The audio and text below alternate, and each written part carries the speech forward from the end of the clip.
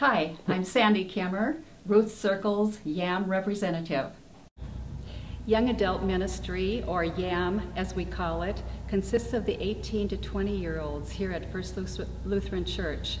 They are the members of the congregation that have graduated high school and are off to college, to the military, and into the workforce.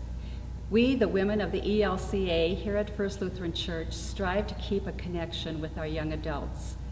Each year, each of our circles is given a new list of First Lutheran Church 18 to 20 year olds. This year, there were 59 young adults that we prayed for and sent letters to. Each circle has a YAM representative who mails these letters to our young adults at their away from home addresses throughout the school year. The circle that I belong to likes to send them the quarterly devotional booklets, birthday cards, greeting cards, and so on, anything to keep reminding these young men and women that God and their church home are always here for them.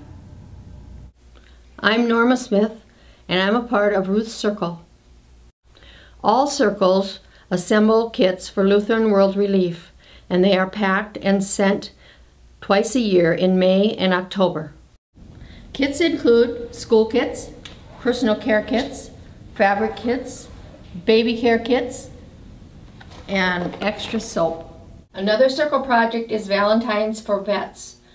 Purchased or homemade Valentines are collected in January and put in this box, and in February uh, for Valentine's Day, they are sent to the Veterans Home in Fergus Falls, Minnesota. Hi, I'm Elyda Handegard from Rachel's Circle, and our special circle projects are the dining room table centerpieces. The special circle project for Rachel's Circle are the dining room table centerpieces. This has been our project for several years, and we fund the expenses for materials needed to assemble. Mary Ruth and Eloise have used their expertise to make several of them. Arlene and myself have had the pleasure of arranging and changing them for the different seasons and holidays.